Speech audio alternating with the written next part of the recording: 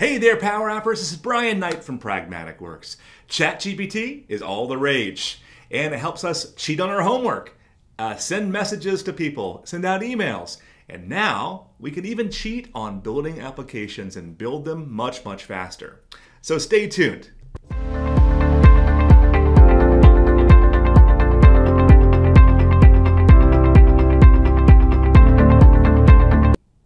Welcome back. In this video, we're going to show you how do we integrate ChatGPT into our application. We're going to use a few ways. We'll generate some tables with ChatGPT. We'll also talk about how, how we turn it on at a feature level also. Now, I've already signed up for the preview, and at the time of the record, you're watching this recording, it may not be required to sign up for the preview, but I'll put the link to that preview in the description of this video. Once done though, let's go ahead and jump over here and see what the environment looks like. I'm gonna hit the gearbox up top, and as an administrator in the admin center, you can decide, do you wanna turn this on for your tenant or not? Now, the goal of this is to reduce the amount of time it takes to build an application. You already have this from an integration with Power Automate today, where you can describe the type of flow that you want built, and it will go out there and build that flow with all of its details for you, and all you have to do is take it the last mile. This has reduced the amount of errors immensely from building flows, and you can build it faster. So less errors, faster to build.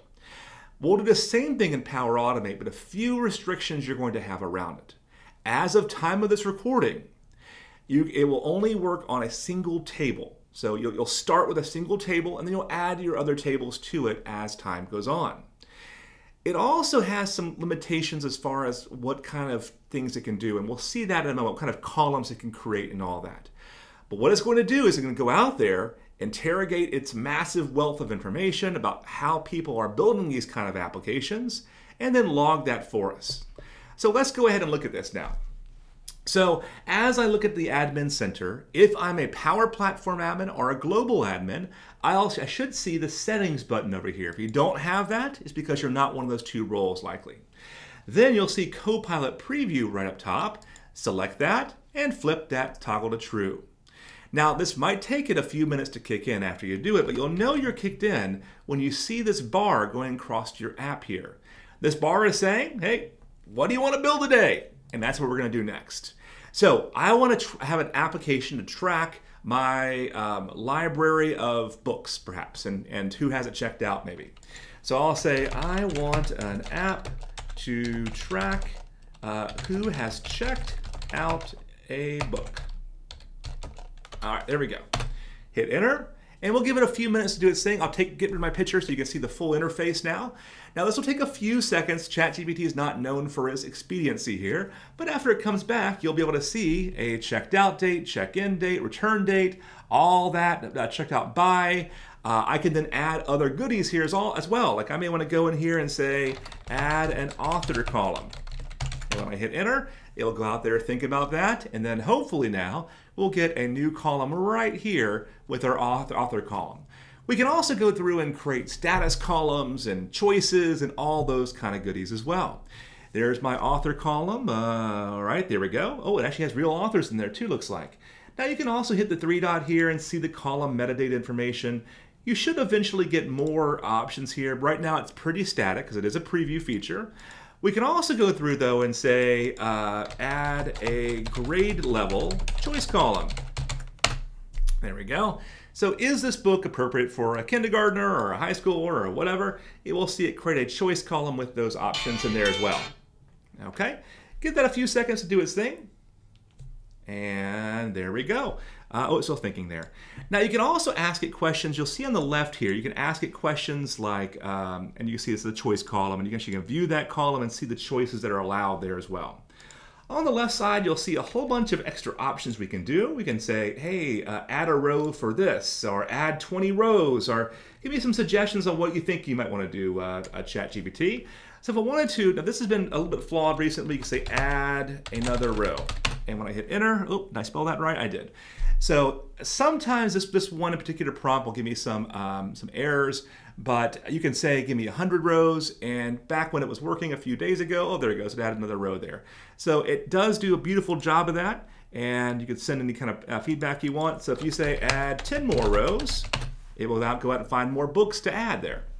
So this table that we're seeing right now has not necessarily been created. It's still kind of in memory, and it's not really ready to, to, to actually send it to the Dataverse yet.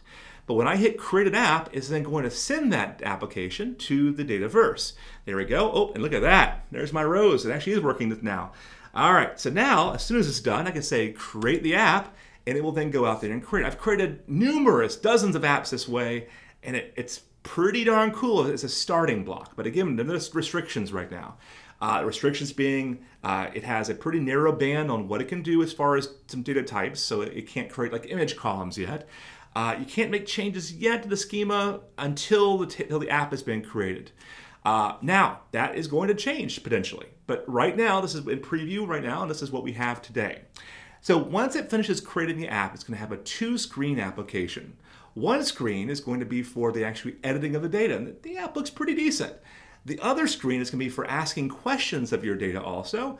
That in particular feature right now in my environment is giving me errors right now, so we see the feature come up in a second. We'll see that it has some challenges there as well. Let's get rid of me for a second here so you can see the, uh, the full screen. And once that's done, uh, there it goes. It's going to start loading. Now, the last feature it has is a chat feature right inside the application for Copilot. Now, you can imagine where they're going with this. There's some really cool stuff that's going to come with this. But I can ask questions about, uh, you know, how do I add or you know add a button. Whoop, whoop, let me go ahead and get rid of that. Add a button, for example. And when I hit enter, it will then tell me how to go walk through and actually build that. And it gives me, you know, uh, instinctual instructions about how to actually do this. There we go. Open screen, yada, yada, yada. Right now, this is more informational, but you can imagine what kind of cool stuff is coming down the road to show us how to actually integrate ChatGPT and add features in this as well. This is the piece I was mentioning before is giving us an error right now, but that's no worries. You'll be able to go through though and ask it questions of your data.